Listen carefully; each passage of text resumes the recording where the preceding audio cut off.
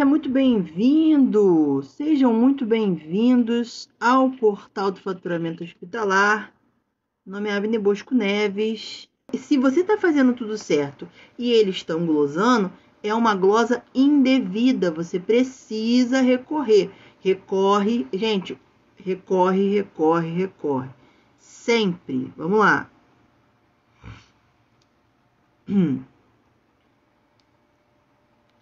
É, aqui em Pernambuco, os profissionais são muito difíceis em colocar detalhadamente a justificativa. Olha, a justificativa precisa, para você recorrer, vamos lá, para quem está chegando aqui no, no, no, no faturamento, aqui no perfil, é o seguinte: você vai olhar lá o demonstrativo de análise de contas médicas. Olhou o demonstrativo de análise de contas médicas? Na conta que tiver glosada, vai estar tá o motivo da glosa motivo da glosa você vai encontrar lá na tabela 38 da TUS, tá? E aí você vai lá olhar o motivo. Ah, por que, que glosou? Glosou porque a matrícula estava incorreta. Então você tem que ir lá e fazer esse recurso justificar, provar que a matrícula estava né, correta. Ah, vamos lá. Atendimento após o desligamento do beneficiário. Acontece bastante em algumas operadoras aí. Tem uma certa operadora e seguradora que acontece isso bastante. Você tem que ligar para a seguradora, lá para a operadora, para a parte beneficiária. Olha só, eu sou do credenciado tal, quando foi que esse, é, é, creden esse beneficiário foi desligado do plano? Aí eles vão falar. Você pega esse protocolo e coloca lá no recurso. De acordo com atendente, protocolo tal e tal e tal e tal. Esse beneficiário foi desligado tal dia, o atendimento foi tal dia, então a glosa não procede. É claro que em alguns, em alguns recursos de glosas o, a quantidade de, de, de que você pode escrever é menorzinha, você não vai conseguir escrever isso tudo, tá? Mas você vai editando ali para caber o máximo que você é, conseguir. Vamos lá.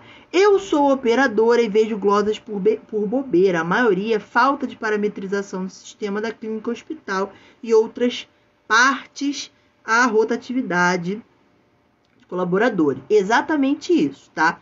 80% ou mais das glosas que vão chegar lá na operadora de saúde é por bobeira, gente. É deslize tanto do profissional faturista quanto do sistema da, que ele botou, da parametrização, do, enfim, da, da clínica, tá? Do, do operacional administrativo da clínica, tá? É um valor que, que tá maior, entendeu? E aí cobrou, é senha incorreta, é falta de token, é, é matrícula incorreta. A maior parte das glosas, mais de 80% vai ser isso. Por isso que eu falo, quando você consegue organizar o setor, né? Não adianta organizar só o setor de faturamento, tem que organizar tudo, porque é, as, as informações vêm de lá, né? Por exemplo, atendimento dentro da carência do beneficiário. Se atendeu o beneficiário que está na carência ainda não podia ser atendido. Como é que o faturamento vai saber disso? Não tem como o faturamento saber, né? Só quem vai saber lá porque vai tirar a elegibilidade, vai ver a carteira e tal, entendeu? Então, é uma coisa que foge ao faturamento. Por isso que eu sempre digo, faturamento é trabalho conjunto da recepção, do, do da, da enfermagem, dos médicos, da fisioterapia, todo mundo faz parte do faturamento. Senão, continua aí. É, tem algumas operadoras é, que são realmente muito complicadas de você ter contato. Eu sempre eu brinco, né, assim, olha, se a operadora não não gosta de, de, de ter contato, ó, se ela não atende seu telefone, se ela não responde seus e-mails e nada, não é uma boa operadora de saúde para você trabalhar, não é mesmo? Mas, infelizmente, não é a gente que manda no, no, lá no credenciado, a gente só faz o faturamento. Então, a gente sofre com isso. Tá? E realmente, operadoras de saúde que não têm uma comunicação muito boa, né, você não consegue, por exemplo, tem uma operadora de saúde que você só consegue abrir no chamado. Você não consegue falar com ninguém pelo telefone. Às vezes você tenta ir lá, ninguém te atende. Você abre um chamado no site, envia a mensagem ou então no chat e é atendente que vai, não é nem a pessoa lá do setor, é uma atendente que muitas das vezes não entende muita coisa e fica bem complicado. Vamos lá, vamos lá. Deixa eu ver aqui mais comentários.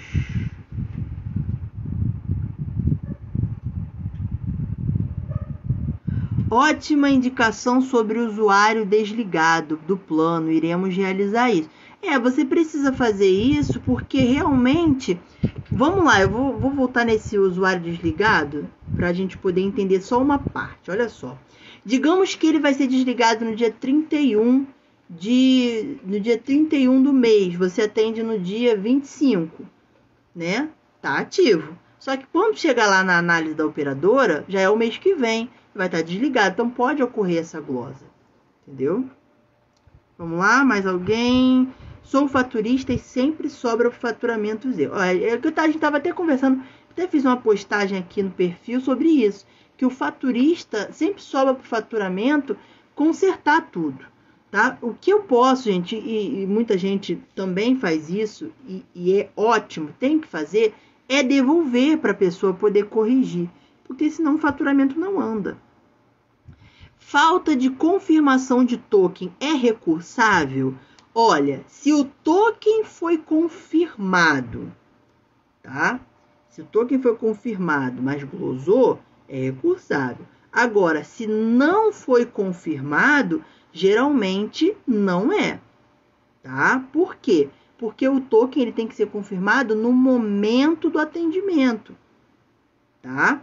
Agora, se você confirmou depois, você pode ir lá fazer o recurso, informar no recurso o número do token e, enfim, né? O que acontece muito aqui é, é que foi informado o token, tanto que se eu pegar lá o histórico eu consigo ver que o token foi informado, mas mesmo assim a operadora glosa. Aí a gente faz o recurso, printando a tela do token, coloca o anexa no recurso e eles pagam depois. Tá? Vamos ver aqui mais comentários. Bom faturamento se inicia no primeiro atendimento, exatamente. Vamos lá. Mais comentários. Vamos lá, gente. Me falem aí como está de glosas aí no faturamento de vocês. Então vamos lá, vamos continuar aqui falando sobre algumas glosas. Ó, tem operadora que o paciente confirma o token, porém quando chega no faturamento dá que o token não foi confirmado. E aí o que, que você tem que fazer? Você tem que entrar no histórico lá, printar a tela do token que foi confirmado e colocar lá, tá? Para poder é, fazer o recurso. Printa a tela. Gente, já aconteceu isso aqui, a gente fez e eles pagaram normalmente. Credenciado não habilitado para realizar o procedimento. O que, que vocês fazem? Aparece isso na glosa, na glosa de vocês. Eu vou olhar no contrato se a gente pode fazer. Quando glosa, instrumentador e auxiliar, eu justifico como. Depende da glosa. Entendeu? Por exemplo, se você está cobrando um horário de urgência e você coloca os 30% sobre o porte do, do, do, do, cirurgião, automaticamente a equipe vai receber, porque você vai pegar 30% do valor do cirurgião, não é mesmo? Agora, quando você glosa instrumentador, pode ser N motivos. Um dos motivos pode ser que o paciente pediu reembolso e a operadora não vai te pagar uma coisa que ela reembolsou para o paciente. Você tem que ver. Auxiliar também. Às vezes pode ser que aquele procedimento não comporta aquela quantidade de, auxílios, tá? E aí a operadora de saúde vai glosar. Então, cada glosa a gente tem que tratar individualmente.